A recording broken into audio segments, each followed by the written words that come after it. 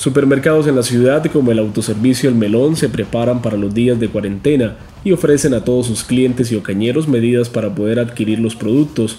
Una de estas es la del servicio a domicilio que se estará ofreciendo a la comunidad desde el día de hoy. Estamos trabajando eh, un horario de 7 de la mañana a 8 de la noche.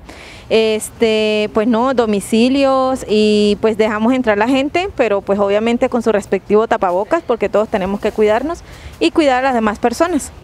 Productos de la canasta familiar se podrán conseguir en el autoservicio El Menor.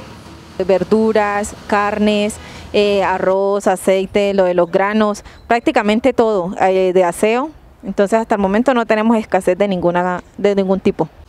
Es hora de adquirir todos los productos sin salir de casa y evitar aglomeraciones.